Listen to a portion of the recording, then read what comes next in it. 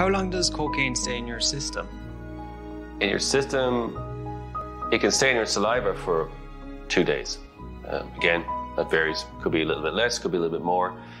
Uh, it can stay in your hair follicle for up to three months, and so, some uh, professionals think many, many months.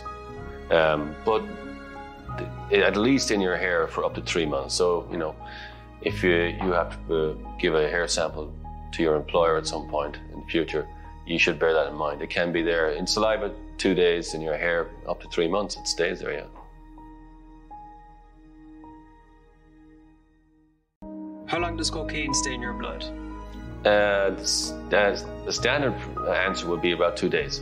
Again, it's, it's dependent on your own uh, physique, your age, your sex, uh, your weight, um, and I guess uh, how much, uh, how often you consume cocaine. Um, the more often you consume it, uh, it, it will stay there for about two days. But if you are an infrequent user of it, it could be there for two or three days. But on average, two days.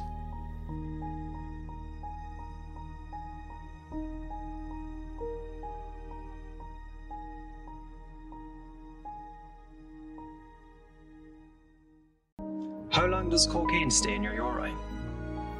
Um, it's a good question.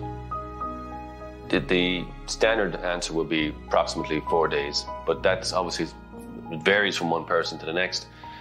Um, we're all different, and um, but generally speaking, I think most medical professionals uh, would say, respected medical professionals, uh, would uh, acknowledge that, urine, that cocaine does stay in your urine for up to four days. Beyond that, then it starts to uh, deconstruct and pass through, but it, it will be there four days after you've consumed it.